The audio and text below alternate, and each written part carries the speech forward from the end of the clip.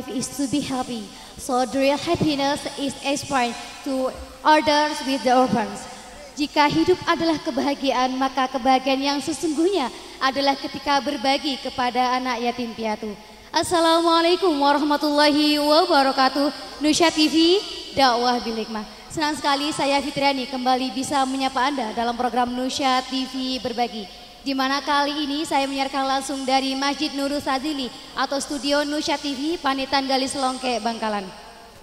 Pada malam hari ini 25 anak yatim piatu memperoleh bantuan dan santunan kembali dari Raden Kiai Fakril Ashol. Seperti biasa, santunan diberikan dalam bentuk uang atau materi, bahan baku dan juga konsumsi. Dihadiri dan disaksikan langsung oleh jemaah pada malam hari ini yang terdiri dari para ulama, masyarakat, dan tentunya Fars Mania dari berbagai wilayah.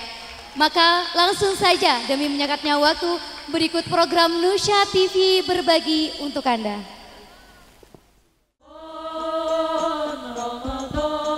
Selamat datang dalam program Nusya TV berbagi. Beberapa anak yatim piatu berjumlah 25 menerima santuan dari Komisaris Nusya TV Raden Ki Haji Fakhrila Asfol. Seperti biasa, santunan dalam bentuk uang dan juga pangan. Penerima bantuan dari program Nusya TV berbagi malam ini dari Panitan Longke Galis Bangkalan.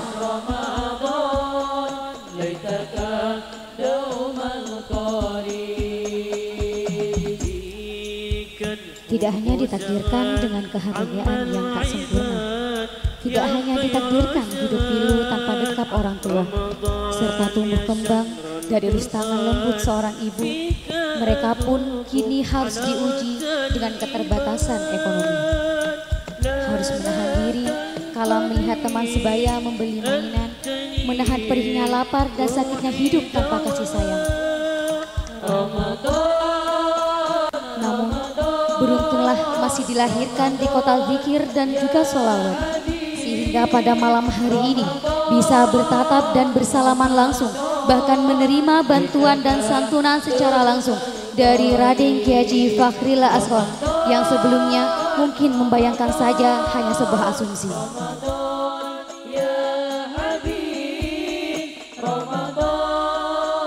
Tidak ada yang pernah salah dari takdir. Hidup berkecukupan belum tentu toleran.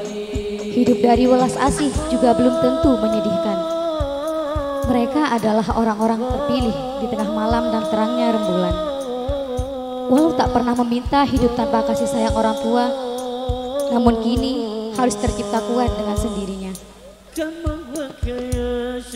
Kisah derita hidup memang bukanlah sebuah karangan, bukan juga hanya suatu bualan. Hidup yang tak sendiri selalu bertemankan dengan kesendirian, namun tak juga pernah membuat putus harapan mereka terus berdiri tegak menantang kerasnya zaman liku hidup yang penuh pilu dan tak menentu. Merupakan sebuah kenyataan yang terlalu mengharu biru. Sebuah perjuangan hidup tanpa ayah dan ibu. Ya, mereka anak yatim piatu, anak yang luar biasa, maka jangan enggan berbagi kepadanya karena sebenar-benarnya kebahagiaan adalah ketika saling berbagi senyuman. Mungkin jika bisa meminta, mereka akan meminta hidup dengan orang tua. Mungkin jika bisa tak menerima, mereka pun ingin tidak menerima sebuah takdir. Maka ini adalah kenyataan hidup, kenyataan hidup tanpa dekat dan kasih sayang seorang Ibu Ramadan dan juga seorang ayah. ku tunggu angkat musibahku.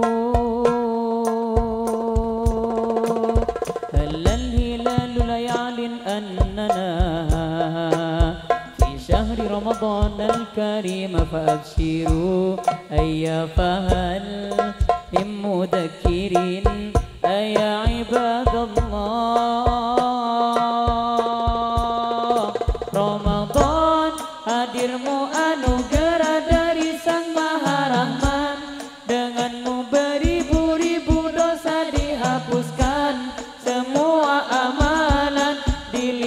gandakan bagi umat Rasulullah Ramadan afdalu ma marra ala dunyana min ayyam wa bi nazala al-Qur'an ala khairil anam Ramadan bihi al-busra wa ma'al usri yusra wa hadha dhannuna billah Ramadan khairu ma tu'ti sana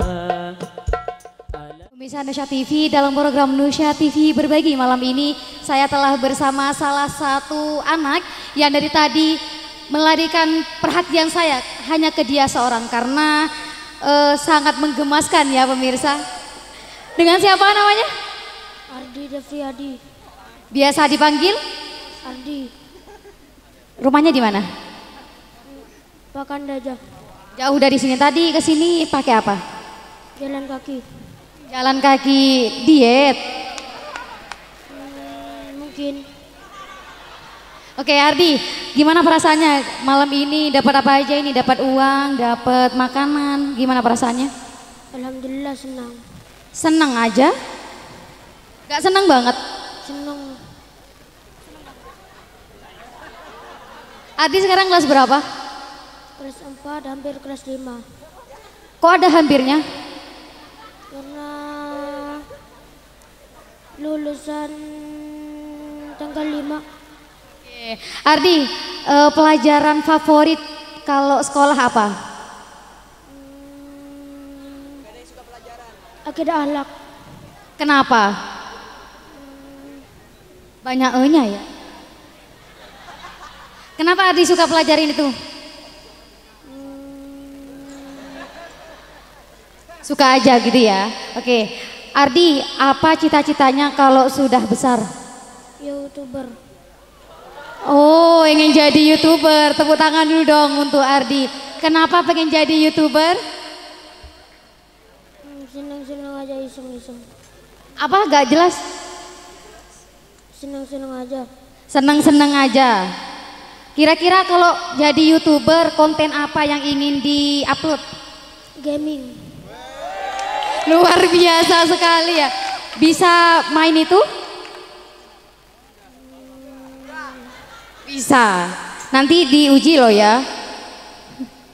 Coba e, kalau misalkan perasaan malam ini seneng, ucapkan terima kasih dong pada Raden Kiai Fakhrul Ashol, pada Nusya TV gimana? Terima kasih Nusa TV dan Kiai Fahri. Nusa TV dakwah bil hikmah. Oke, tepuk tangan dulu dong untuk Ardi. Kemudian tadi kita sudah berbicara dengan penerima yang cowok, sekarang kita coba dulu yang cewek. Namanya siapa? Lailia. Siapa? Elia. Oh, Lailia. Lailia rumahnya di mana? Di Galis. Iya, Galisnya mana? Oh, nggak tahu ya, nggak tahu alamat rumahnya masihan. Lailia sekarang sekolah atau gimana? Sekolah. Kelas berapa? Kelas 2. Nah kalau tadi Ardi pengen jadi youtuber, Lailia pengen jadi artisnya enggak? Enggak mau, kenapa? Ya udah, cita-citanya jadi apa? Dokter. Jadi dokter, dokter apa? Dokter eh, jantung atau dokter cinta? Dokter apa?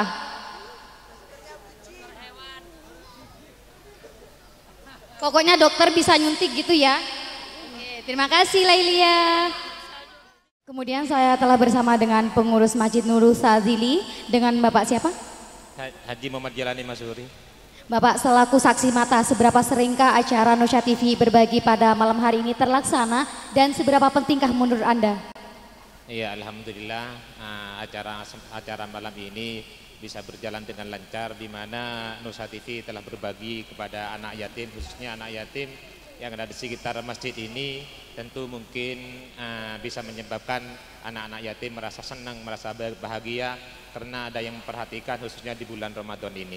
Dan ini mungkin sangat penting uh, ke, ke depan untuk Nusa TV dan tentu tentu yang lain agar supaya sering-sering ada santunan seperti ini. Karena bisa menyebabkan anak yatim merasa senang dan merasa bahagia. Ada yang memperhatikan Lalu bagaimana dengan dukungan masyarakat setempat khususnya masyarakat e, Kecamatan Galis terhadap program-program Nusya TV utamanya program Nusya TV berbagi? Alhamdulillah mungkin dari masyarakat Kecamatan Galis uh, sangat mendukung sekali dan sangat berharap agar supaya santunan-santunan seperti ini seperti yang saya sampaikan tadi bisa berlangsung bukan hanya di acara pada malam hari ini tapi juga Alhamdulillah Nusa TV sering ada acara-acara berbagi baik kepada fakir miskin ataupun juga kepada anak-anak yatim. Ini bisa menyebabkan bisa menyebabkan mereka khususnya orang-orang fakir miskin dan anak yatim seperti yang saya tadikan ada ada yang merasa memperhatikannya sehingga mungkin bisa lebih meningkatkan kesejahteraannya dan bisa dan mungkin bisa menyebabkan uh, mereka-mereka itu semakin apa semakin uh, bisa mendekatkan diri kepada Allah Subhanahu wa taala dengan adanya santunan ini. Apalagi santunan ini dari Nusa TV langsung dipimpin oleh Hadratul Mukarram Saya guru kita Haji Fahrillah Asor. Ini Pak kan yang datang pada malam hari ini tidak hanya dari daerah Panitan saja namun juga dari e, berbagai daerah di Kecamatan Galis. Bagaimana cara mengetahui potensi-potensi mereka atau keberadaan mereka e, sebagai orang yang tidak mampu secara ekonomi dan juga anak yatim piatu? Iya. Ini untuk mengetahui keberadaan anak yatim ataupun orang-orang yang tidak mampu tentunya dari Nusa TV karena sudah ada sudah banyak anggotanya. Ini mungkin bisa bisa mendata ini, bisa juga mungkin Eh, bekerja sama dengan dengan lembaga-lembaga yang lain atau juga pernah Nusa TV ber, apa itu bekerja sama dengan Lasisnu dengan jam, jam, dengan pengurus MBC Indo Kecamatan Galis dan dari Lasisnu sendiri sebenarnya dari lembaga dari lembaga di, di pengurus MBCNU sebenarnya anak yatim ataupun fakir-fakir miskin yang memang butuh bantuan dari kita itu sebenarnya sudah ada datanya. Satu kalimat untuk Nusya TV. Masa TV dakwah bil hikmah. Terima kasih Bapak. Seperti biasa dalam program Nusya TV berbagi, meskipun tak ditakdirkan sebagai anak dengan orang tua yang lengkap, namun juga belum tentu tidak memiliki semangat yang luar biasa. Maka dari itu, mari kita coba yel-yel Nusya TV bersama. Saya rasa semuanya sudah mengetahuinya. Nusya TV, dakwah bil hikmah. Boleh sekali lagi dan diikuti oleh para penonton yang hadir malam hari ini. Nusya TV, Terakhir, Nusya TV Ibarat sebuah cinta, maka tak indah rasanya bila hanya diungkapkan melalui kata. Maka sebagai interpretasi cinta kepada Allah dan Rasulullah Shallallahu Alaihi Wasallam, maka jangan enggan berbagi kepada anak yatim piatu. Dan untuk anda di luar sana yang ingin menyalurkan donasi kepada anak yatim piatu dan orang yang tidak mampu, maka langsung saja transfer melalui rekening bank Nusya TV tertera di bawah ini. Saya Fitriani dari Panitan Longke Kecamatan Galis Kabupaten Bangkalan. Pamit undur diri. Wassalamualaikum warahmatullahi wabarakatuh.